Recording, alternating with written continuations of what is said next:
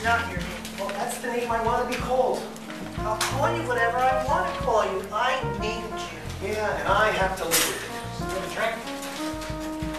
Just sit down. You have a problem telling people how you feel, do you? You never do. Which is why we're here. You have something to tell me? Yes. Okay, tell me. Mrs. Thompson, found those pickles you like. How did you know my name?